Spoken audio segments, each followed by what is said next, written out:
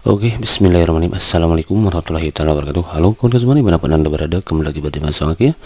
Semoga kita selalu dalam keadaan baik dan kebaikan Selalu menyertai kita semua, amin ya Allah Oke kan kawan, Alhamdulillah kembali lagi Maki berkesempatan untuk berbagi soal-soal SKB CPNS Di mana pada pertemuan kali ini Maki akan membahas soal SKB untuk formasi guru SD ya bukan SMP ini sorry. Hmm, judulnya belum oke ganti ya. Jadi ini FRSKB guru SD lebih tepatnya tanggal 25 September 2020 berdasarkan hasil literasi maki yang beredar di alam jagat raya ini gitu kan ya. Bahwa di antara nanti soal yang muncul untuk guru SD itu di antaranya sebagaimana yang akan maki bahas pada berikut ini gitu ya. Baik untuk ngurus kata tuh langsung aja ke TKP gitu ya. Di sini sudah sekian masalah namun permasalahannya menunya teh butuh susru ya. Selalu itu masalah yang semua jadi semuanya pus solution biar apa? Iya betul. Biar inspirasi gitu kan ya Oke kan kawan, soal pertama itu terkait dengan pembagian pecahan, uh, ada pecahan biasa dan ada pecahan campuran. Bagaimana untuk menyelesaikan soal ini? Ya gampang kawan-kawan ya. Caranya kalau soalnya kayak gini kawan-kawan, berarti yang ini kalikan ke sini, lalu tambahin itu kan uh, jadi satu satu per dua itu satu kali dua dua tambah satu tiga per dua ini sama dengan tiga per dua nah ini sama itu kan kan ya 4 kali 17 berapa? 4 kali 10 nya itu kan 40 4 kali 7 7 28 68 berarti. 28 tambah 40 68 tambah 6 berapa? 74 ya. 74 per 17 berarti itu. Ya, karena kalau 74 dibagi 17 itu dapat 4 nah sisa 6 gitu dibagi 12 per 17 nah bagi bisa jadi kali dengan syarat pembilangnya penyebut dan juga dari pembilang untuk yang kedua. Jadi ini sama aja dengan 74 per 17 dikali 17 per 12 coret-coret gitu kan ya? Cut cerot gitu ya? Tinggal 74 per 12 ini perkecil aja dulu bagi dua aja lah yang mudah. Ini berarti 30 berapa nih? 37 ya 37 per 26 nah, jadi ini dibagi dua kan? Bagi dua atas bagi dua bawah bawah bagi dua biar adil. 37 bagi 6 itu dapat 6 kan? Hmm. 6 bagi 6, per 6 kan? Karena dia per 6 6 bagi 6 eh 6 kali 6 36 nah, menuju 37 kan kurang 1 nah gitu kan kan ya. Hansen enough enough ini tadi mantap kalau mantap. Next soal nomor berikutnya. Nah soal nomor berikutnya itu telah disajikan sebuah masalah tentang deret kawan-kawan ya. 1 ditambah 6 berapa? 6 ditambah 11 berapa? Sampai 91 sebelum menentukan jumlah mereka maka kita tentukan barisan apa dia gitu ya. 1 jadi 6 itu ternyata ditambah diapain? Iya betul ditambah 5 6 jadi 11 diapain?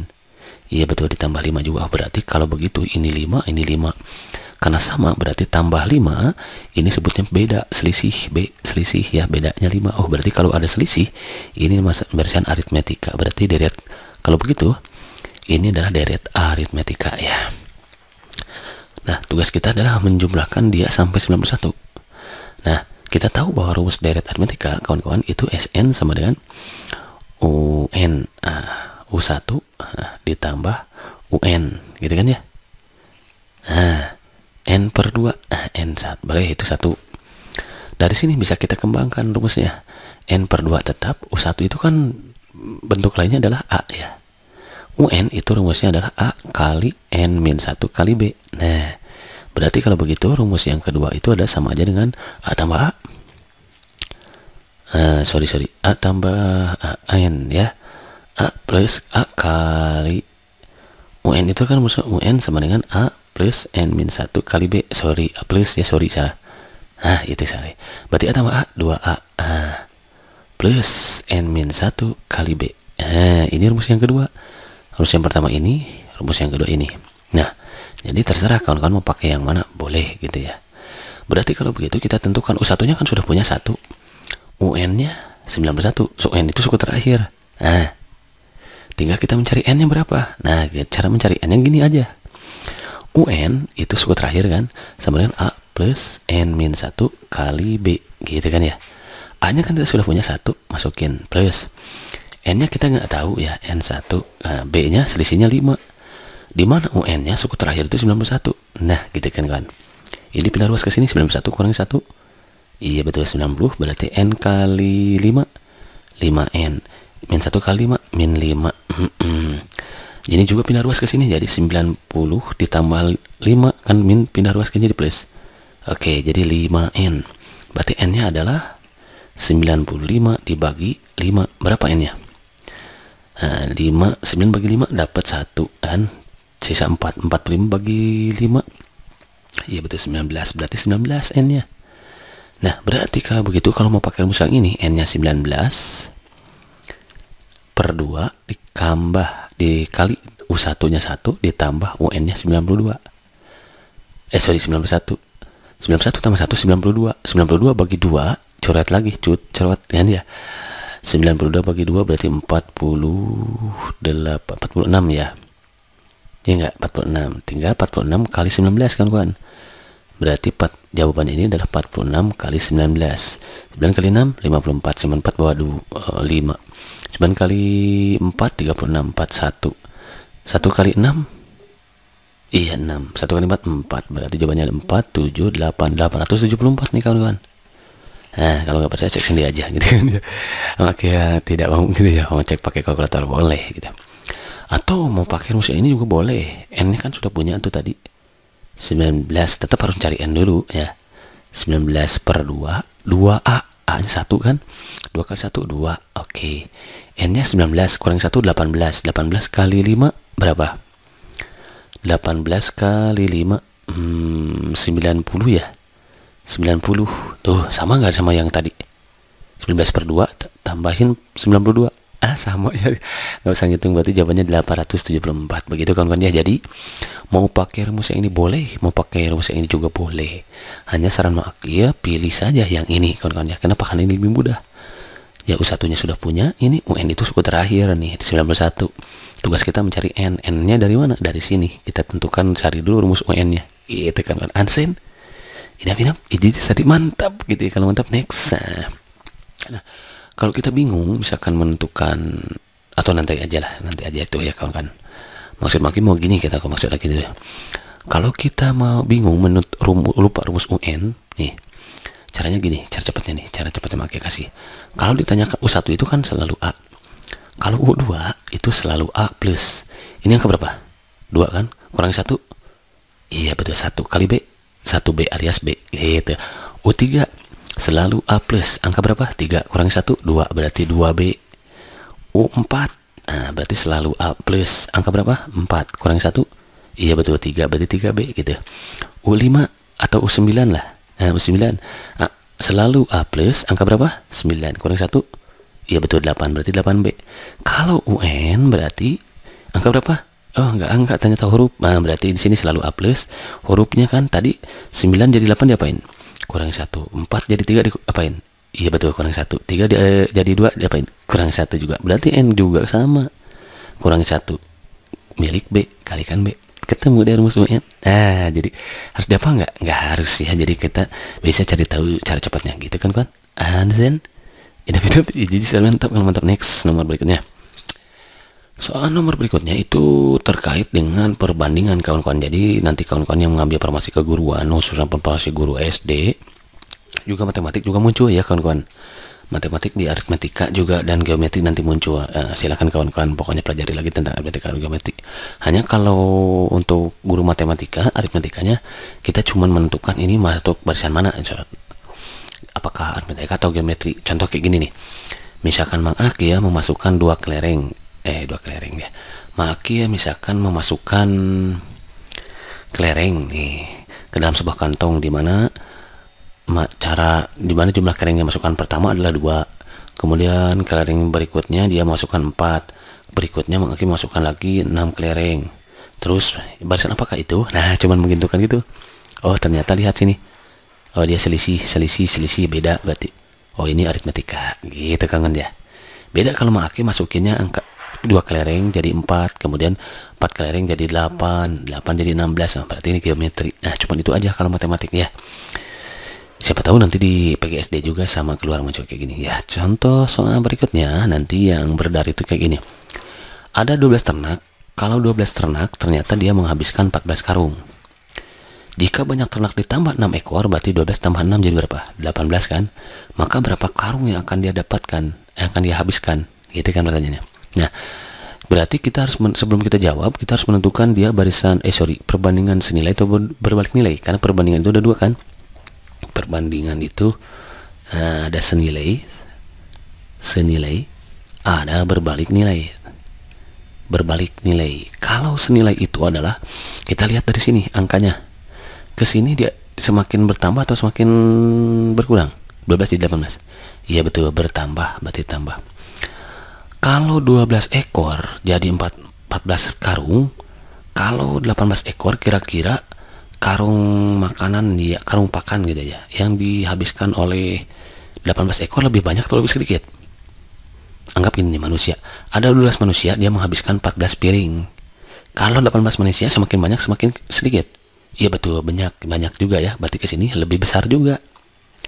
Kalau ke sini besar, ke sini besar juga sama, maka itu perbandingan senilai kawan-kawan.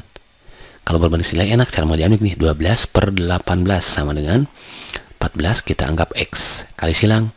Berarti 12X sama dengan 14 kali 18. Nah, kita mencari X-nya. X sama dengan 14 kali 18 dibagi 12. Nah, nah ini kan bisa diperkecil tuh.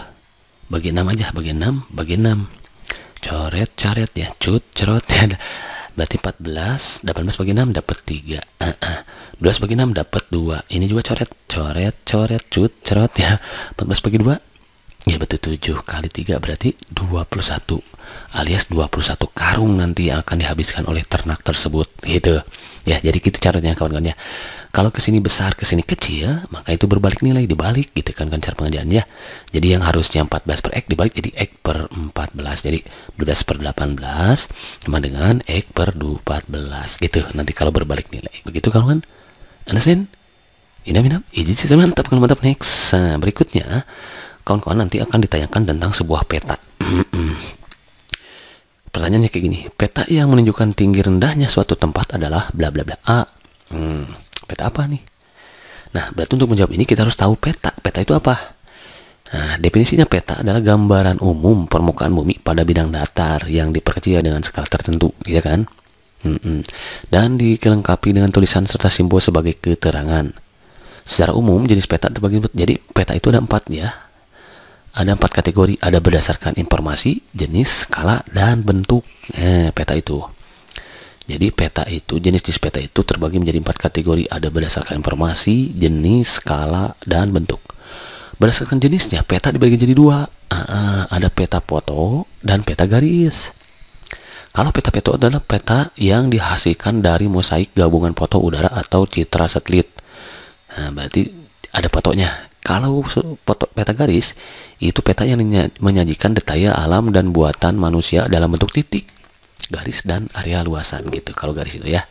Itu berdasarkan jenisnya.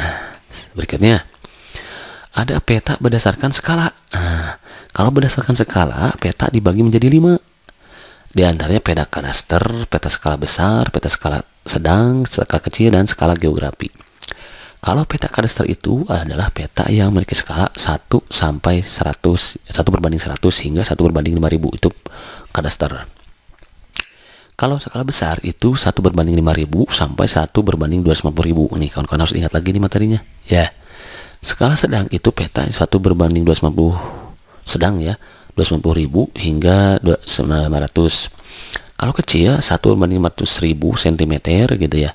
Satu berbanding satu juta. Nah, peta geografi itu adalah peta yang memiliki skala lebih kecil dari satu berbanding satu juta. Nih kawan-kawan. Gitu ya. Jadi semakin besar itu peta skala besar itu semakin kecil ininya bilangannya kalau semakin peta kecil nah, peta skala kecil ah, bilangannya di sini semakin besar. Karena ini satuannya dalam senti artinya setiap satu sentimeter hmm, setiap satu apa? Sorry sorry. Nah satu berbanding 500 ribu sentimeter gitu ya oke itu kawan-kawan tidak jadi semakin kecil besar menjadi jauh ya kemudian berikutnya berdasarkan informasinya Nih, ada peta berdasarkan informasi. Kalau peta berdasarkan informasi dibagi jadi dua, yaitu peta umum sama peta peta umum sama peta tematik. Nah, peta umum apa? Peta umum itu adalah peta yang menggambarkan seluruh kenampakan yang ada di permukaan bumi, baik kenampakan alami maupun buatan. Terdapat dua jenis peta umum, yaitu peta A. jadi peta umum juga dibagi dua ada topografi ada peta korografi kalau peta topografi itu adalah peta yang menampilkan relief atau tinggi rendahnya permukaan bumi yang digambar menggunakan garis kontur semakin rapat jarak garis kontur yang satu dengan yang lainnya menunjukkan daerah tersebut semakin curam gitu kalau peta korografi yaitu peta yang menampilkan sebagian atau seluruh permukaan bumi secara umum. Peta jenis ini menggambarkan semua kenampakan suatu wilayah misalnya gunung, danau, jalan raya. Jadi kalau begitu jawaban yang tadi ada apa? Peta yang menunjukkan tinggi rendahnya suatu tempat berarti peta topografi kawan-kawan ya menampilkan tinggi rendahnya permukaan bumi tuh topografi ini merupakan peta berdasarkan uh, informasinya yaitu peta umum berarti masuknya peta topografi itu ya karena peta berdasarkan informasinya dibagi dua. Ada peta umum sama peta khusus. Peta umum dibagi dua yaitu topografi dan korografi. Nah, korografi itu adalah yang menampilkan sebagian atau seluruh permukaan bumi secara umum. Kalau topografi rendahnya menampilkan tinggi rendahnya permukaan bumi suatu tempat gitu. Nah kalau tematik ini peta yang berdasarkan informasi tentang suatu aspek atau gejala khusus di permukaan bumi di peta ini hanya menampilkan hal, tertentu sesuai kebutuhan contohnya peta persebaran jala persebaran tambang, peta penggunaan lahan. Ya ini khusus itu ya. Tema, berarti berdasarkan temanya. Kalau umum umum semuanya ada gitu. Understand? Inap inap, ini sudah mantap kalau mantap next. Nah, yang terakhir itu peta berdasarkan bentuknya. Nah, berdasarkan bentuknya bisa jadi tiga. Ada peta timbul, yaitu peta yang permukaannya dibuat berdasarkan bentuk permukaan bumi yang sebenarnya. Ada peta datar, peta yang dibuat di atas bidang datar. Oleh karena itu bentuknya yang datar, kan? Maka untuk menggambarkan permukaan bumi yang sebenarnya digunakan gradasi warna. Ada peta digital yaitu peta yang dibuat dan dapat dibaca melalui komputer. Nah, itu itu berdasarkan bentuknya. Oke, itu sedia selesai kawan-kawan ya. Berikutnya ada tentang pertanyaan tentang tujuan negara itu ada pada pembukaan UUD alinea berapa katanya ya. Nah, jadi untuk tujuan negara, kawan-kawan perlu kita ketahui bahwa dia ada di pembukaan UUD alia ke alinea keempat nih. Jadi jawabannya yang D nih nanti. Nah, keempat bunyinya gimana bunyinya adalah kayak gini kan kawan-kawan juga sudah tidak asing lagi di telinga kita ya kemudian daripada itu untuk membentuk suatu pemerintahan negara Indonesia yang melindungi segenap bangsa Indonesia dan seluruh tumpah darah Indonesia dan untuk memajukan kesejahteraan umum mencerdaskan kehidupan bangsa dan ikut melaksanakan terbian dunia yang berdasarkan kemerdekaan perdamaian abadi dan keadilan sosial Nah, jadi tujuan negara itu ada di sini, di alinea keempat. Mana saja? Melindungi segenap bangsa Indonesia dan seluruh tempat Indonesia. Yang satu. Yang kedua itu memajukan kesejahteraan umum yang ketiga itu mencerdaskan kehidupan bangsa yang keempat itu ikut melaksanakan ketertiban dunia nah, jadi ada empat tujuan negara yang tercantum di pembukaan UUD alinea keempat begitu kan kan understand inap inap ini sering mantap kalau alinea satu itu adalah tentang keteguhan bangsa Indonesia dalam membela kemerdekaan nih kalau kawan harus tahu ya siapa tahu nanti yang muncul ada di alinea satu kalau alinea satu itu keteguhan bangsa Indonesia dalam membela kemerdekaan kalau alinea dua itu tentang cita-cita negara Indonesia kawan-kawan kalau alinea ketiga itu pengupahan pernyataan proklamasi. Lalu keempat baru tujuan negara. Nah, gitu kan ya. Awas nih catat di baik-baik nih. Alinea satu itu keteguhan bangsa Indonesia dalam membela kemerdekaan. Alinea kedua itu cita-cita negara Indonesia. Alinea ketiga itu pengupahan pernyataan proklamasi. Alinea keempat baru tujuan negara. Begitu kan kan? Understand? Inap inap. Ini sering mantap mantap next. Nah, Berikutnya ada tentang pertanyaan tentang keuntungan negara agraris. Jadi berarti kawan-kawan harus tahu definisi negara agraris. Hmm. Agraris itu adalah sektor pertanian ya kawan-kawan. Nah berarti kalau begitu negara agraris adalah negara yang tingkat perekonomiannya sangat bergantung pada sektor pertanian. Sebab sebagian besar masyarakatnya bekerja sebagai petani. Itu negara agraris. Keuntungannya apa saja? Nih satu uh, di antaranya tujuh keuntungan negara menjadi negara agraris. Satu Pertanian menjadi salah satu sektor perekonomian yang memiliki peran yang sangat penting untuk meningkatkan ekonomi negara.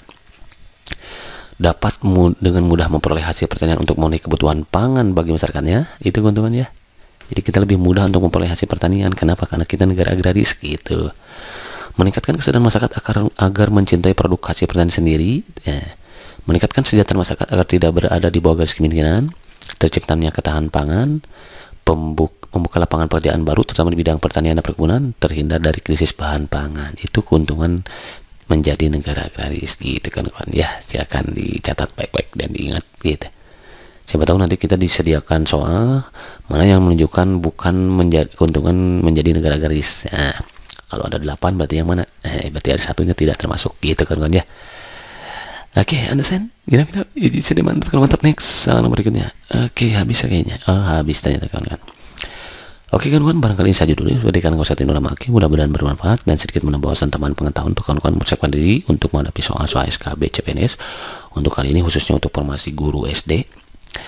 Untuk kawan-kawan yang akan mengikuti ujian ya dan ada sedikit pertanyaan silahkan tinggalkan pertanyaan di kolom komentar insya Allah kalau waktu mungkin akan mengakibatkan buatkan gitu soal SKB yang di request gitu ya.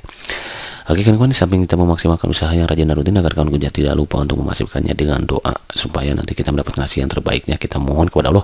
Jadi jangan kita takut sama soal saja kawan-kawan. Kita pun harus takut sama teknis hal, teknis yang akan terjadi nanti pada pelaksanaannya. Kita minta sama Allah biar dimudahkan juga pada proses pelaksanaannya. Nah, siapa tahu kita sudah siap dengan materinya, tapi kita nanti yang agak berdoa agar pada saat pelaksanaan teknisnya ada gangguan, nah, maka ya kemungkinan kita tadi itu ya kalian ya jadi kita harus mohon sama Allah itu dimudahkan dalam mengerjakannya dalam prosesnya dan dalam menjauh sama yang diberikan gitu. Biar nanti pada saat error pun kita tetap tenang gitu kawan-kawan ya. Oke kawan-kawan thank for thank for see you next video. Assalamualaikum warahmatullahi wabarakatuh